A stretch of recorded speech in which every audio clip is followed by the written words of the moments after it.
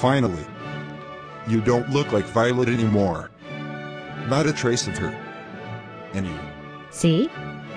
I told you that. I'd changed back. Besides, I hate wearing makeup anyways.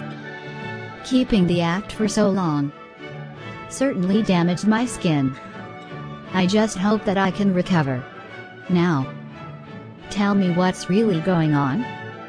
Trust me. I promise I'd go easy on you with your psychological profile. Anyway, never mind. I'll have to go to the toilet.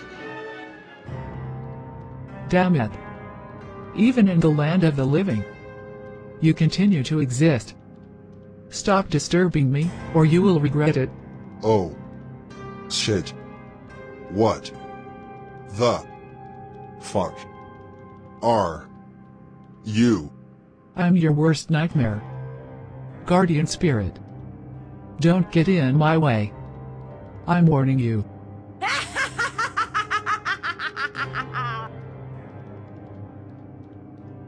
I don't know what you're talking about. You're dead. But curse your spirit. Likewise. Don't get in my way. Me? Dead? Impossible. Wait. Oh shit, I must be in hell. You're a fucking demon. Oh shit. Violet? Silly boy. You're obviously alive. But you're dead also. I don't understand. Fine. Let me tell you. About your gruesome demise. Maybe I should shed some light. Or the dark truth. Before the events that transpired. Let us go back in time. Back to where they were alive. Hello. Isaiah Peters. Okay, who the fuck are you? And how do you know my name? Relax, man. Just here looking for my wife. I assume she's here? Wears a lab coat. Has a gold necklace? Wait. Hold on a minute. You meant to say that. Holy shit. Surprised to see yourself? I remembered using that line on another one of us. Of course. Me from the other world. And frankly, that's also my line. I heard you went here. Um, I met a girl went here. Did she meet herself? Yeah, man. Our girl was shocked to see herself. How come she ain't looking older? She looks exactly like her today. Man, this is awkward.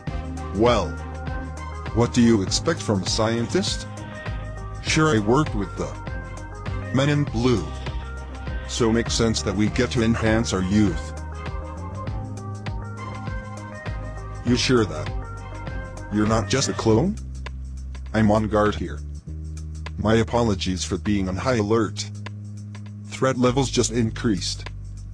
According to Molly.